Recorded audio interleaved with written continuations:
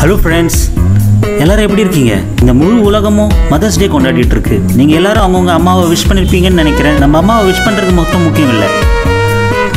ஒரு தாயினுடைய அன்பு எப்பேற்பட்டது என்று நம்ம எல்லாரும் புரிஞ்சுக்கணும். ஒரு தாயினுடைய அன்பு எப்படிப்பட்டது என்று புரிஞ்சுக்கிறதுக்கு நம்ம ஒரு சிறிய கதையை பார்ப்போமா?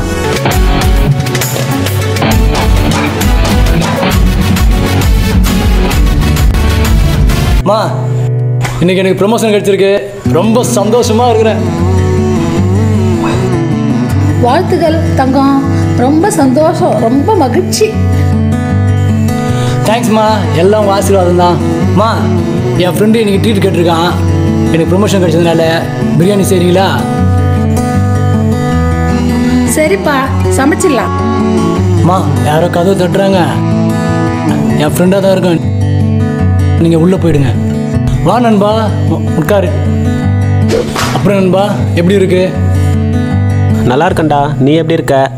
நான் எப்போ சூப்பராக இருக்கேன்டா. உனக்காக பிரியாணி ரெடி ஆகிட்டு இருக்கு சூப்பர்டா. யார் சமைக்கிறாங்க? எங்கள் வீட்டு வேலைக்காரமா பிரியாணி சமைக்கிறாங்க. ப்ரோ ஒரு நிமிஷம் வந்துடுறேன். ம் வீடு ரொம்ப சுத்தமாக இருக்கே. நல்லா மெயின்டைன் பண்ணியிருக்காங்க இங்க யாரோ வராங்களே. அவங்க தான் வேலைக்காரம்மா போல.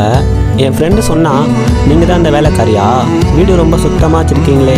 ஆமையா ரொம்ப நன்றி. ஐயா எங்க முதலாளி வந்துட்டு இருக்கிறாரு. நான் உள்ள போயிட்டு உங்க ரெண்டு பேருக்கும் சாப்பாடு எடுத்துட்டு வந்துடுறேன். என்ன நண்பா? பிரியாணி எப்படி? பிரியாணி சூப்பர்டா. ஹைதராபாத் தம் பிரியாணி சாப்பிட்டா மாதிரியே இருந்துச்சு. ட்ரீட்டுக்கு ரொம்ப நன்றி. உங்கள் வேலைக்காரம்மா பார்க்க ஒரு மாதிரி இருந்தாலும் பிரியாணி சூப்பராக பண்ணியிருக்காங்கடா போல நண்பா. சரி டைம் ஆகுது. என் வீட்டில் வெயிட் பண்ணிட்டு இருப்பாங்க. கிளம்புறேன்டா. சரி நண்பா. போயிட்டு வா. சரி அப்புறம் பார்க்கலாம். பாய் ஏன்பா நான் உனக்கு கேட்ட தப்பா நினச்சிக்க மாட்டியே? உன் ஃப்ரெண்டு கிட்ட எதுக்கு என்ன வேலைக்காரின்னு சொன்னப்பா? என் ஃப்ரெண்ட்ஸ் எல்லாம் என்னை பார்த்து ரொம்ப அழகாக இருக்குன்றாங்க. உங்களை பார்க்கறதுக்கே ரொம்ப அசிங்கமாக இருக்குது. என் ஃப்ரெண்ட்ஸ் முன்னாடி உங்களை எப்படி நான் அம்மான்னு சொல்ல முடியும் வெக்கமாக இருக்குது நானும் உன்னை போல அழகாக தான்ப்பா இருந்தேன். அழகை பார்த்து உங்கள் அப்பா என்னை அடம் பிடிச்சி கட்டிட்டு வந்தார் அதனால தான் நான் எதனால் இவ்வளோ அசிங்கமாக மாறினேன் தெரியுமா உனக்கு? நீ ரெண்டு வயசு குழந்தையா இருக்கும்போது உன்னை படுக்க வச்சுட்டு நான் காய்கறி வாங்கிட்டு வர போனேன். திரும்பி வந்து பார்த்தா வீடு பத்தின்னு எரிஞ்சுருக்குது ஐயோ கடவுளே என் வீடு எரியுதே. என் குழந்தை வேற உள்ள தூங்கிட்டு இருக்குதே. யாராச்சும் என் குழந்தைய காப்பாத்த வாங்களேன்.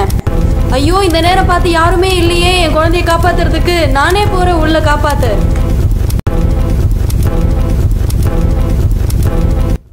நானே உள்ளே போய் உன்னை காப்பாற்றினேன் என் உடம்பெல்லாம் தீ காயமாயிடுச்சு. நீ சின்ன போதா இருக்கும்போதே உங்கள் அப்பா செத்துட்டாரு. நான் உன்னை எவ்வளோ கஷ்டப்பட்டு வளர்த்து படிக்க வச்சு ஆளாக்கணும் தெரியுமா? நான் ஏன் இவ்வளோ அசிங்கமாக இருக்கிறேன்ட்டு நீயும் என்னை கேட்கலப்பா. எனக்கும் உனக்கு அந்த உண்மையை சொல்ல வாய்ப்பு கிடைக்கல. அம்மா என்னை மன்னிச்சிருங்கம்மா. நான் தெரியாமல் செஞ்சிட்டேம்மா. எனக்காக உங்கள் நீங்கள் அழகையெல்லாம் இழந்துட்டீங்களே அம்மா எனக்காக உங்கள் முழு வாழ்க்கையை நீங்கள் இழந்துட்டீங்க. உங்கள் அன்பை நான் புரிஞ்சிக்கவே இல்லை. தயவு செய்து என்னை மன்னிச்சிடுங்க.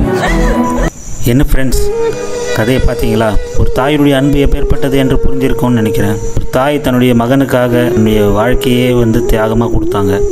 அழகெல்லாம் இழந்து தாயை காட்டிலும் ஒரு பெரிய அன்பு ஒன்று இருக்குது அதுதான் இயேசு கிறிஸ்துவனுடைய அன்பு. வேதாகமத்தில் சொல்லியிருக்கு ஏசையா ஐம்பத்தி மூணு ஐந்தில் நம்முடைய மீறுதல்களின் நிமித்தம் அவர் காயப்பட்டு நம்முடைய அக்கிரமங்களின் நிமித்தம் அவர் நொறுக்கப்பட்டார். நமக்கு சமாதானத்தை உண்டு பண்ணும் ஆக்கினை அவர் மேல் விழுந்தது. அவருடைய தழும்புகளால் குணமாகிறோம் என்று பார்க்கிறோம். ஆம் பிரியமானவர்களே இயேசு கிறிஸ்து தம்முடைய தழும்புகளால் நம்ம குணமாக்கினார். நம்மளுடைய பாவங்களை சாபங்களை சுமந்து அவர் பாவமானார். நம்மை ரட்சிப்பு நடத்துவதற்காக அவர் எல்லா பாவங்களையும் அவர் தோல் மேல் சுமந்து சிலுவையில் பலியானார். இந்த அன்பு ஒரு தாயினுடைய அன்பை காட்டிலும் மேலான அன்பு ஸ்திரீயானவள் தன் கர்ப்பத்தின் பிள்ளைக்கு இறங்காமல் தன் பாலகனை மறப்பாளோ? அவர்கள் மறந்தாலும் நான் உன்னை மறப்பதில்லை என்று வேதத்தில் இயேசு கிறிஸ்து சொல்லியிருக்கிறார்.